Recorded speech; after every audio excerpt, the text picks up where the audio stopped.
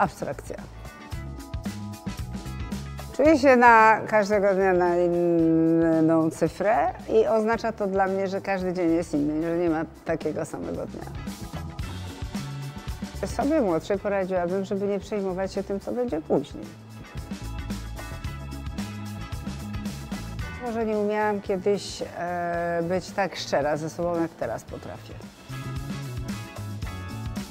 Po urodzeniu mojej córki to stawiałam ją na zawsze na pierwszym miejscu, bo była dla mnie najważniejsza. Teraz mam czas na to, żeby e, zająć się mo moim życiem. Naturalnie. Takie rzeczy dzieją się naturalnie, wtedy jest najlepiej. Taka jak po dwudziestce. Będzie chyba znowu Afryka. Ale teraz, w najbliższych dniach, będzie radość.